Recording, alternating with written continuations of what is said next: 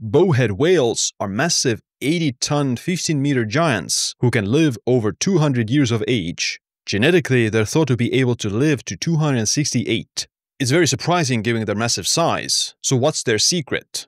Scientists believe the answer lies in their extraordinary DNA repair systems that protect them from aging and disease. And now, a brand new 2025 study has found that one of these whale DNA repair proteins can actually stabilize human cells when implanted in the lab.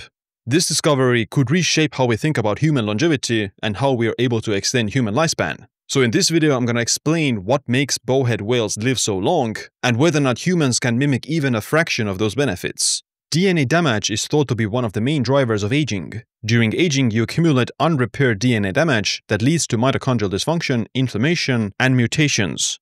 Now, aging is a lot more complex than that. It's not just wear and tear that damage accumulation is causing aging. Yes, it's a big part of aging, but it's not the only reason why we age. While high levels of oxidative stress, inflammation, and DNA damage have a significant role in the aging process, they don't tell us the whole story. In fact, some degree of oxidative stress may actually be beneficial by triggering adaptive responses that enhance cellular resistance. This process is known as hormesis, and it's a biological phenomenon seen across all species. And DNA damage is an inevitable part of life. Breathing, sunlight, eating, doing anything causes a small amount of oxidative stress in the body. Over decades, this gradual accumulation of damage contributes to aging and increases the risk of cancer and other age-related diseases. Most animals prevent cancer by detecting DNA damage and killing the cell, which is a process called apoptosis, or they stop its growth by turning it senescent, a state where the cell permanently stops dividing. While senescent cells are metabolically active, they can become pro-inflammatory over time and contribute to aging if not cleared.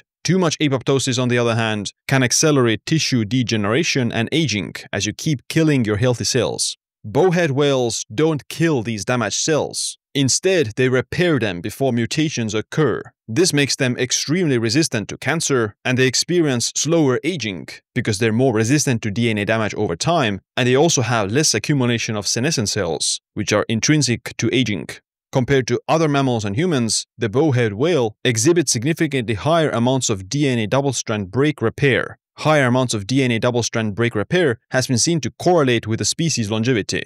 Bowhead whales have a unique version of a protein called P53, which is called the guardian of the genome that protects against cancer. In other animals, too much P53 can damage healthy tissues, but in bowhead whales, P53 not only prevents cancer, but also prevents unnecessary apoptosis. Bowhead whales actually have much lower P53 expression than humans or mice, so the bowhead whales don't express more P53, but they're much better at regulating and balancing it. Basically, when other species evolved to select for the apoptosis and cell senescent route, then the bowhead whales evolved towards more of this efficient DNA repair, which actually turned out to be in their favor because they live longer. In this new study that investigated these DNA repair mechanisms, the scientists put one of the key repair proteins called CIRBP into human cells. The cells started overexpressing CIRBP and their DNA repair improved and had fewer mutations after DNA damage. CIRBP is short for cold inducible RNA binding protein, which is a cold shock protein. Basically, it's a stress response protein that whales have a lot of because they live in cold waters near the Arctic Circle. Because of the cold, their body increases stress resilience and DNA repair, which appears to be the reason these animals live so long. CRBP was also seen to be responsible for stabilizing P53 as we just talked about. Bowhead whales are very good at regulating P53 and the cold shock protein is responsible for this. As a result, they have better tumor suppression and they prevent excess apoptosis. The reason why these natural selection pathways occurred is obviously not clear, but it might have to do with the environmental niche of these animals. Whales don't really have natural predators, and they live in very cold temperatures, where their body needs to express more cold shock proteins to survive. So their species didn't need to evolve in the direction of apoptosis and cell senescence, such as other land animals, because they could get away with focusing more on DNA repair. Land animals need to focus on short-term survival, because they have a lot more predators. Okay, so does this mean that you need to start taking ice baths and cold showers to express more cold shock proteins and to live longer? Cold shock proteins are multifunctional RNA DNA binding proteins produced by cells in response to cold stress. They help animals and humans to survive low temperatures. Lower body temperatures have often been seen to be predictors of lifespan in some species because being super warm consumes more energy.